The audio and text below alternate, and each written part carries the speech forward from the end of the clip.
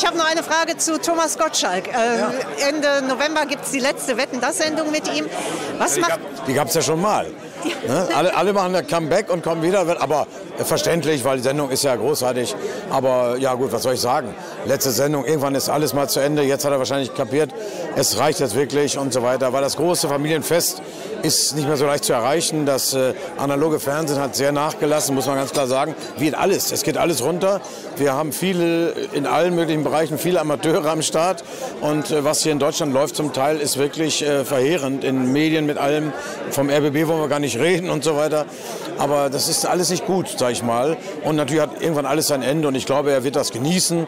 Die letzte Sendung sei ihm auch gegönnt, weil er hat damit Fernsehgeschichte geschrieben. Großartig, war ein Vorläufer der frechen Zunge in der Moderation, äh, wie Otto bei den Comedians so ein Vorläufer war. Insofern wünsche ich ihm eine super geile Sendung. Es ist nur eine Frechheit, dass er mich nie geholt hat, obwohl wir es gut kennen.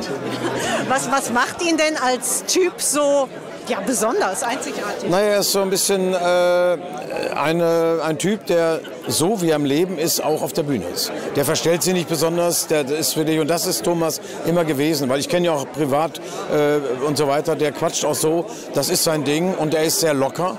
Er hat also normale Anspannung wie, wie alle bei so einer Sendung, aber der ist nicht nervös. Der macht das dann mit Servus, da ist er, ja, der Gottschalk und so weiter. Das ist sein Ding und das hat er super gemacht. Und äh, insofern, gut, man weiß nie, was passiert wäre, wenn er weitergemacht hätte und diese Pause nicht entstanden wäre.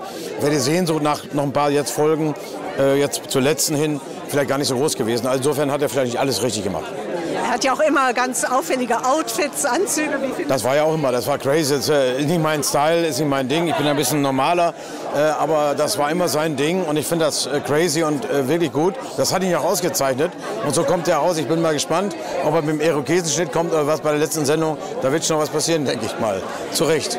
Er hat ja auch viele Weltstars zu Gast gehabt. Ähm, wie geht er mit den Menschen um, auch mit den Promis? Gibt es da Berührungsängste? Na, der, Thomas ist einfach, der hat, äh, der macht sein Ding und äh, er mag sich selbst auch sehr gerne und so weiter und er ist nett zu den Leuten und meine, das, gut, der Grund damals war ja auch der Unfall mit dem Koch damals äh, bei einer Wette dass er aufgehört hat. Aber grundsätzlich ist Tommy, mit dem kannst du, wie man Wald rein Schweiz raus kannst, mit dem umgehen, locker, flockig. Also da kommt er schon wunderbar zurecht. Und er hat vor allen Dingen auch überhaupt keine Hemmung, was große Namen angeht, weil er selber einen großen Namen hat. Und insofern ist er da locker, flockig. Ja, klasse. Vielen Dank. Gerne. Danke.